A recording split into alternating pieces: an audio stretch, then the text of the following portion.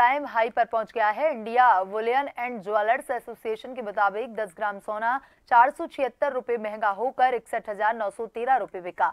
इससे पहले इसी साल 4 मई को सोना अपने ऑल टाइम हाई पर था। तब इसकी कीमत इकसठ रुपए प्रति 10 ग्राम थी। चांदी की कीमत पिचहत्तर हज़ार रुपए किलो तक पहुँच गई।